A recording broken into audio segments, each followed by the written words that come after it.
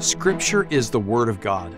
We believe that God has spoken to us in sentences and paragraphs so that we could know of His revelation of Himself in His Son, finally, and His Spirit. In the beginning, God created the heaven and the earth. The earth was without form. form. Interpreting Scripture brings blessings and challenges because no book is so consequential for history. God said, Let there be light. There was light. God inspired writers who composed narrative, others poetry, others wrote prophecy, others books just about Jesus, the Gospels, and we have several epistles that we can learn from. All of these styles of writing describe God and His revelation of Himself in history.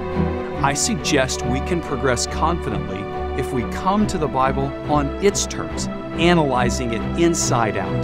God is not just marking His people for a mission now, but so that He will draw them to Himself to forever commune with Him.